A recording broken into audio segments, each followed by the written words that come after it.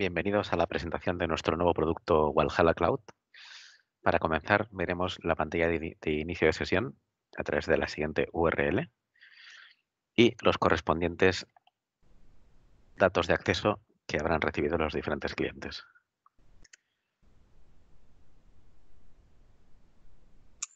Esta es la pantalla inicial de la plataforma en la cual se nos muestra eh, a través de una serie de widgets eh, los recursos que tenemos disponibles, los usados y los que tenemos em, disponibles para, uso todavía en, nuestro proyecto. podemos ver la cantidad de virtual CPUs que tenemos asignadas, la, cantidad de gigabytes de RAM que tenemos asignadas y la cantidad de IPs flotantes, lo que llamamos IPs flotantes, que a la práctica son IPs públicas, que tenemos disponibles en, nuestra, en nuestro Virtual Data Center. En los widgets de abajo podemos comprobar el, almacenamiento que tenemos disponible. Eh, como sabéis, en la plataforma actualmente tenemos dos tipos de almacenamiento, almacenamiento de tipo SSD y almacenamiento de tipo HDD, en disco eh, tradicional. Podemos ver el almacenamiento que tenemos utilizado y el almacenamiento que tenemos disponible de cada tipo de almacenamiento diferente.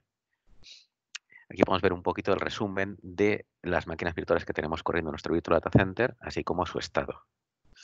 Y en este siguiente widget podemos ver a nivel quizá un poco estadístico el uso que las diferentes máquinas virtuales hacen tanto de Virtual CPUs como de memoria RAM como de almacenamiento en este momento.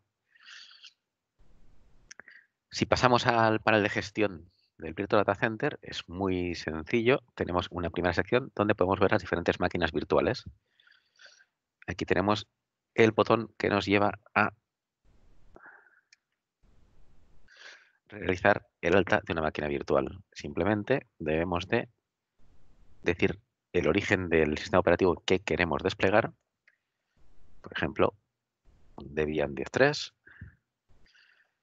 el volumen automáticamente se nos asigna el, mínimo volumen que necesita este, este, este, sistema operativo para funcionar. El tamaño de la máquina virtual va en proporción a las virtual CPUs y a los gigas de, de memoria RAM. Las redes, las diferentes redes que queremos tener en la máquina virtual, en este caso tenemos esta definida, y las claves SSH que debemos haber definido previamente para poder acceder a nuestra máquina virtual. Con esto podríamos hacer un deploy y eh, la máquina virtual se crearía en nuestro Virtual Data Center. Vamos a comprobarlo. Está creándose. Y en pocos segundos la máquina estará iniciándose para poder empezar a trabajar con ella. Por otra parte, tenemos la opción de, eh, desplegar un, clúster de Kubernetes. También es muy sencillo e intuitivo, es simplemente ir desplegando todas las opciones que se nos solicita.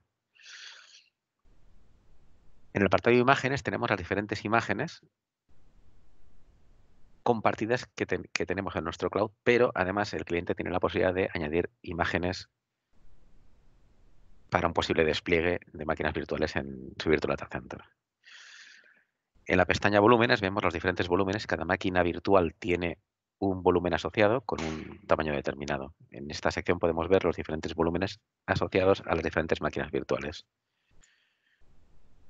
En la sección Networks podemos definir las diferentes redes que queremos utilizar en nuestro Virtual Data Center. Para crear una red privada, únicamente tenemos que rellenar los diferentes campos que se nos solicita. En la sección routers tenemos la posibilidad de crear routers entre diferentes redes o entre la red pública, la red externa, Internet y, nuestras diferentes redes privadas en nuestro Virtual Data Center.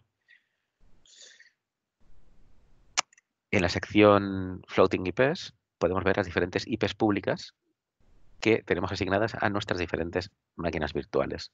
Simplemente, a través del botón Add,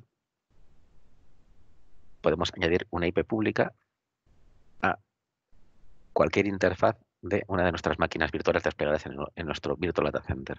Con ello haríamos que la máquina virtual fuera accesible desde Internet a través de la IP pública que le asignemos.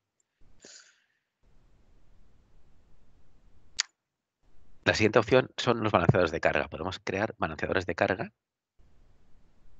incluso con alta disponibilidad, rellenando diferentes, eh, los diferentes parámetros que, se nos solicitan en la plataforma.